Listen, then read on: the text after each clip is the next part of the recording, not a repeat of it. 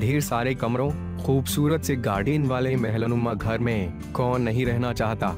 वह भी तब जब यह आलिशान घर न्यूयॉर्क जैसे शहर में हो, वो भी सिर्फ़ अड़सठ लाख रुपए में। फिर भी सालों से यह घर वीरान पड़ा है। कहते हैं, इस घर को कोई खरीदार नहीं मिलता। अगर किसी ने घर खरीदा तो भी फ़ौरन इसे छोड़कर चला जाता है। आठ साल पहले एक परिवार यहाँ रहने तो आया, लेकिन कुछ दिनों में भी चला गया।